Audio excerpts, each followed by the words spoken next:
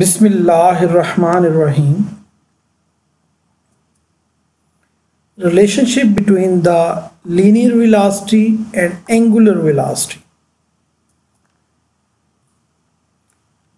We want to prove the formula that V is equal to R omega means we want to establish the relationship between angular velocity and the linear velocities. If a body is rotating or a rigid body is rotating, then every point of the rigid body is rotating in some fixed circle.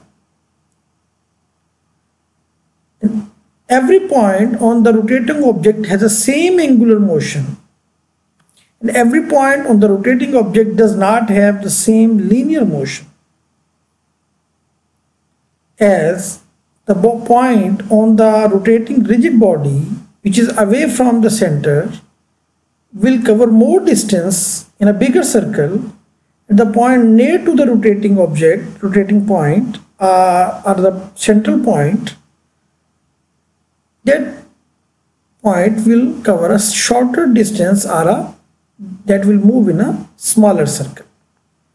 So their linear motions will be different the point on the larger circle or a bigger circle will be moving with a more speed, linear speed, and the point on a smaller circle will move with a slow linear speed. So it means that every point on the rotating object does not have the same linear motion, but every point on the rotating object has the same angular motion and as every point on the rotating object either it is with the shorter radius or with the longer radius will be covering the equal angle in equal intervals of time. So angular speed of all the points will be same but the linear speeds of all the points will not be same. And what is the relationship between the linear speed and angular speed? We draw that relationship in the following slides.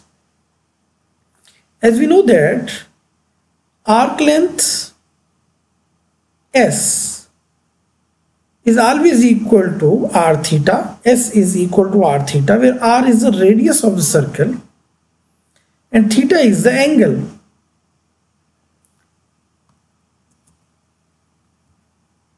You can see that if a body with a smaller radius is moving in a circle of a point at this shorter circle or smaller circle that will cover a shorter distance or less distance in the same time as compared to the point at the large circle it will have to move a large distance in the same time.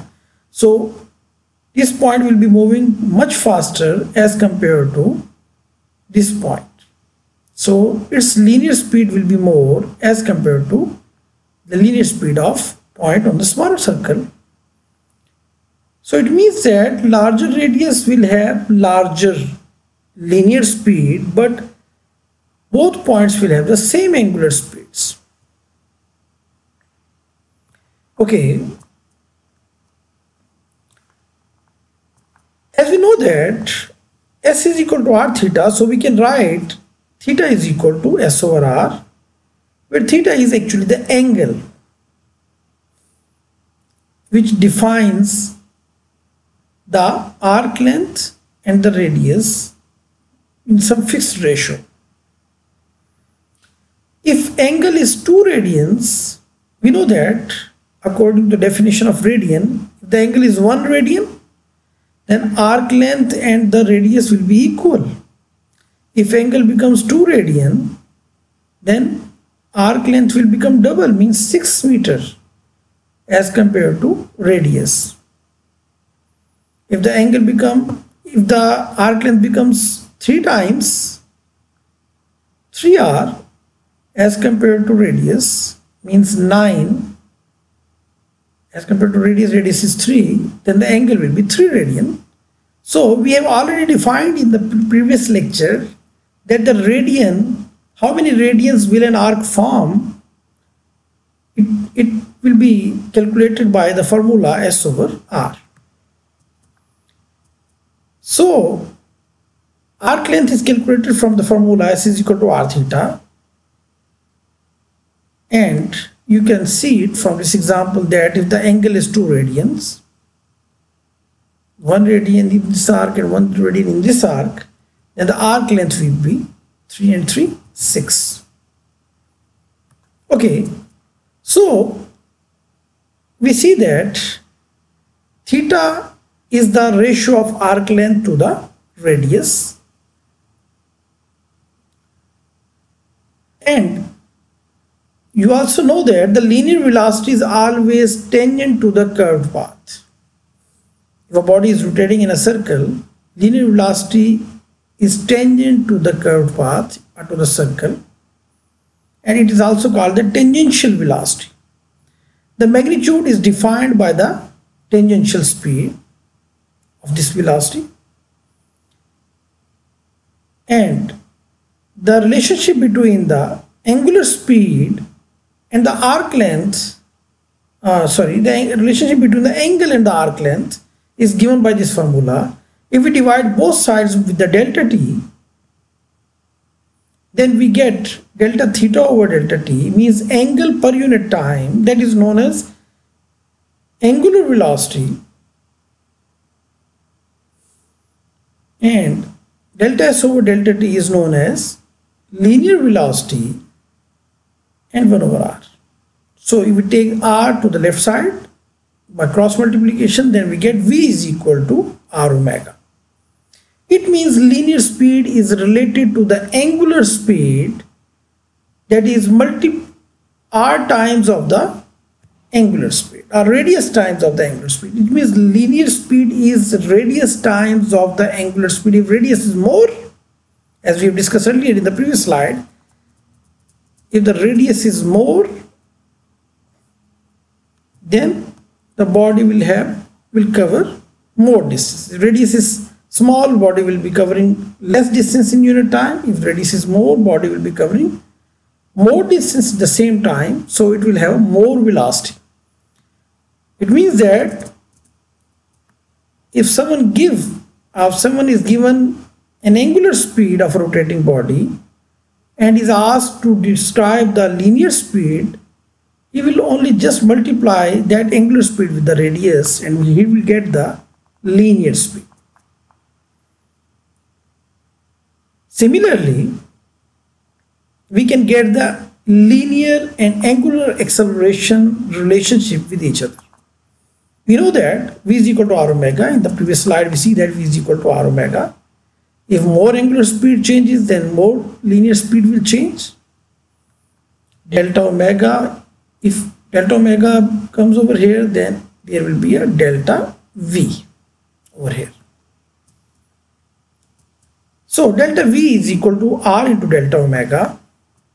And if we divide both sides with the delta T of this equation, then we get delta V over delta T is actually the linear acceleration or the tangential acceleration, how much acceleration this body has in the tangent direction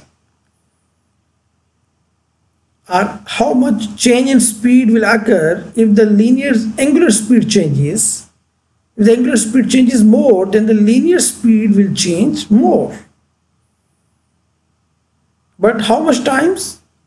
Radius times of the, this is known as alpha, alpha mean angular acceleration.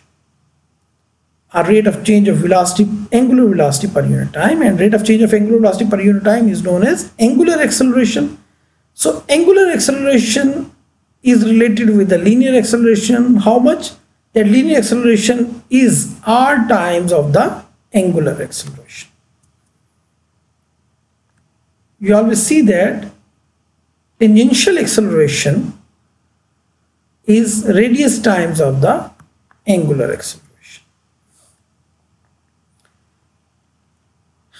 All points on the rigid object will have the same angular speed but not the same tangential speed as we have already discussed in the initial slides. all points on the rigid object will have the same angular acceleration but not same the tangential acceleration because of the same reason as for the tangential and angular speeds. The tangential quantities depends on the radius and r is not the same for all the points on the object.